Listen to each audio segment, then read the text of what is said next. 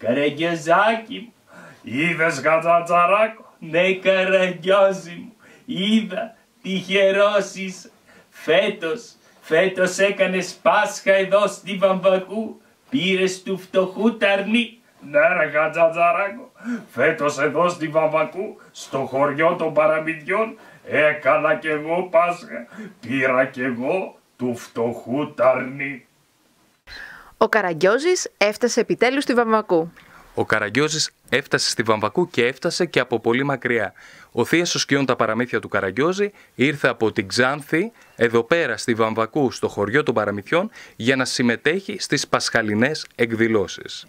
Παρουσιάζουμε μία παράσταση η οποία βασίζεται σε ένα παραδοσιακό ελληνικό παραμύθι, του φτωχού Ταρνή.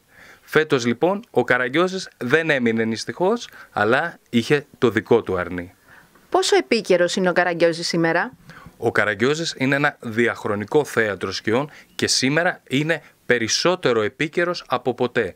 Σήμερα που υπάρχει αυτή η οικονομική κρίση, σήμερα που ε, μαστίζεται ο λαός από οικονομικές δυσκολίες, ο Καραγιώζης, ο φτωχός Έλληνας που καταφέρνει και ξεπερνά τις δυσκολίες του με γέλιο και χαρά, είναι αυτός που μπορεί να μας δείξει έναν δρόμο. Ναι λοιπόν, σήμερα ο Καραγιώζης είναι περισσότερο επίκαιρος από ποτέ.